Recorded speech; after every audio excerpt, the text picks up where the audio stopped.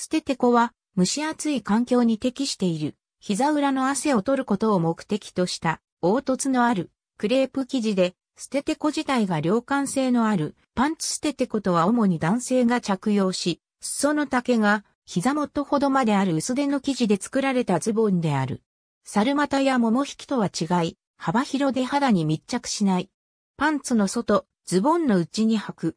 汗を吸着したり滑りを良くしたりする役目もあり、ズボンを傷めにくくする効果があるほか防寒効果もある。祭りにおいて担ぎ手引き手が桃引きと同じ用途で着用したり、祭りにおいてふんどしの代わりに着用する者がいる。捨ててこはサイズがやや余るものだが、裾上げをしてサイズを合わせるものや締め付けを強くしたり、ゆったりとした履き心地にするためゴムを変えて着用するものもいる。締め付けの強いボクサーブリーフ状やゆったりとした履き心地のトランクス状の捨ててこが存在する。素材は面の平折りで横糸に強粘紙を使い折り上げ、一旦大きく縮めてからこの縮み生地を 100cm から 120cm に成形したクレープ生地と呼ばれるものである。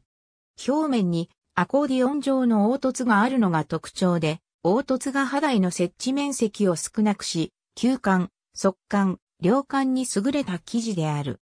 またこの作業工程の生地を大きく縮める際に、不純物などを取り除く作業があり、その作業工程を晒し工程と呼び、一般には真っ白の生地に出来上がる。精錬作業の後の色は白が基準であるが、精錬後に生地を染めた黒や灰色など様々な色がある。ポリウレタンを混紡したものなどや、100cm から 120cm の成形段階で生地の伸縮率が変わってくる。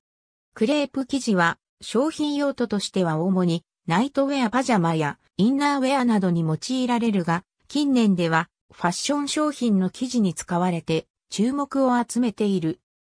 語源は1880年頃、初代三遊亭窓か優が、捨ててこ、捨ててこと言いながら、着物の裾をまくり踊る芸、捨ててこ踊りの際に、着物の裾から見えていた下着であったためとする説と、着用時に下に履いた下着の丈が長く、裾から下が邪魔であったため、裾から下を捨ててしまいで捨ててこと呼ばれるようになった説があると言われている。着物や袴の下に履く下着として、明治以降の日本の近代化に伴い全国的に普及した。戦後、戦医業が流星となった日本では高温多湿の気候に合わせて素材や織りを工夫した洋流クレープやキャラコ式のものが登場した。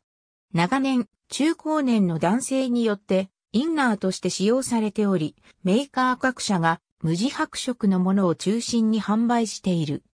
1988年に不織布メーカーが21世紀にはなくなっているか、なくなってほしいと思う服飾品をアンケートしたところ、捨ててこ、桃引きを挙げた生徒が共に6割に上った。